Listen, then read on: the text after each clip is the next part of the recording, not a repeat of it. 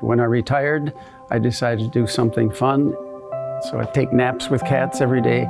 It's the most essential experience for me to be here at the shelter. My name is Terry Lauerman from Wisconsin. I'm a cat napper.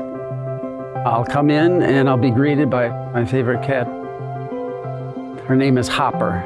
She loves to be touched only in certain places. There you go. We find a, a couch that's very comfortable and sleep together. I think it might lower my blood pressure. It's such a pleasant experience. The cats like it too.